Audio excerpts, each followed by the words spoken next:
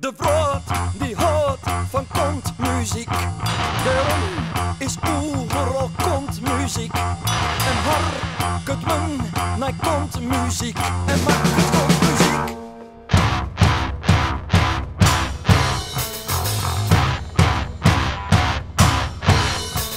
De